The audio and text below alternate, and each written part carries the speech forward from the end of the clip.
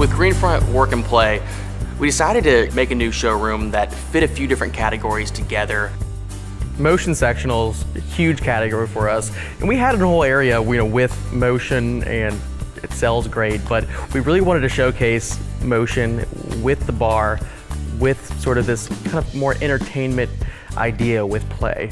I mean, so many people, they're at home, at least I do, you're streaming, you're hanging out with friends, and you know, motion is probably the most comfortable you know, thing we have. So really wanted to show some of this awesome motion.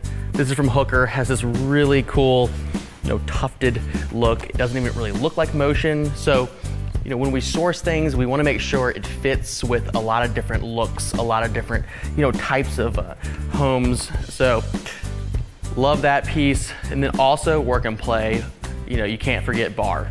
So we do a lot of bars, bar cabinets.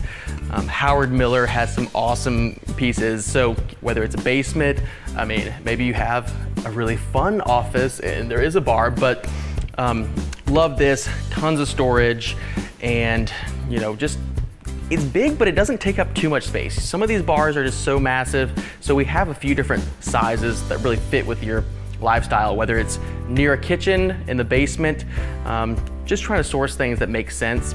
And then of course, not everyone has room or even wants an actual bar, but there is bar storage, wine storage. So again, Howard Miller, love these, sort of this a little bit more industrial, kind of Nautilus feel, wine storage there, and then of course, more down there.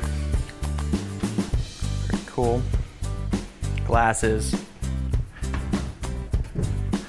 and then depending on, you know, a little bit more traditional,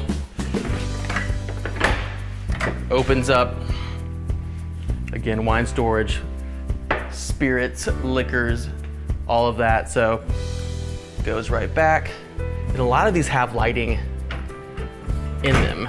So just a fun way to show these different categories. You know, we're not gonna have one whole building with just bar, but all of these really fit together. And Jonathan Charles, a little bit more of that more formal uh, look. And, you know, you definitely have to have a little bit more room, but, you know, if you do, this has an awesome, you know, aesthetic and again, plenty of storage. So work and play, building 12, motion, bar, bar storage. Building number 12, the old Boneyard, is now Green Front Work and Play. Come check it out.